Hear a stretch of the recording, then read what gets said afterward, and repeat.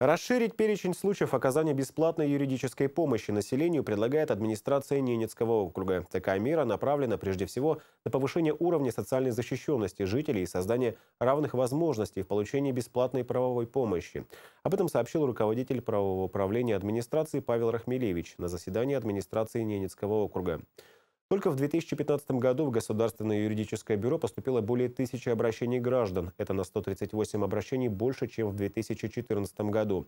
Наиболее популярные из них касались вопросов по сделкам с недвижимостью, предоставления помещения по договору социального найма, жилья для детей-сирот и других мер соцподдержки.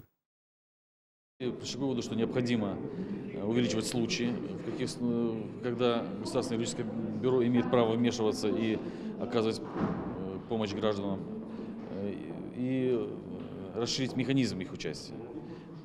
Если в некоторых случаях нет возможности, например, обратиться к Госюрбюро в суд за установление факта юридического значения, чтобы на основании этого решения они могли бы вообще просто помощь гражданам оказывать.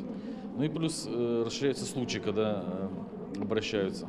Э, это в отношении установления прав на пособие, на, на социальные выплаты, в отношении Э, вопросов, связанных с лишением родительских прав или установлением э, отцовства. Проектом закона о внесении изменений в окружной закон о бесплатной юридической помощи в Ненецком округе предполагается включить дополнительные случаи.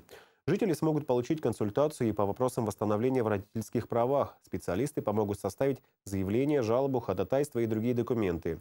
Люди с постоянной пропиской в сельской местности смогут рассчитывать на помощь юрбюро и адвоката по предоставлению их интересов в суде либо в органах власти по вопросам пенсии, социальных пособий, оказания малоимущим гражданам государственной социальной помощи, оплаты субсидий ЖКХ.